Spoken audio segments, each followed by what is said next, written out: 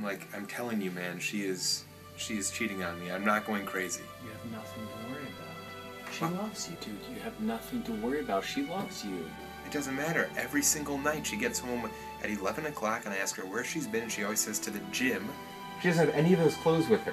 I mean, something is up. You're gonna drive yourself crazy thinking about this kind of stuff. She probably is just gonna Arthur! What the hell are you doing, man? Every single time we're trying to make a really good movie, you ruin it. What the fuck's your problem? I mean, that was such a good fucking take by Benjamin, and you walk in with your Duane Reade bag? I mean, just like, please be mindful. Please be mindful because we were on something really good, an emotional level, and you you walk in here like a little dope. The bag had my toiletries.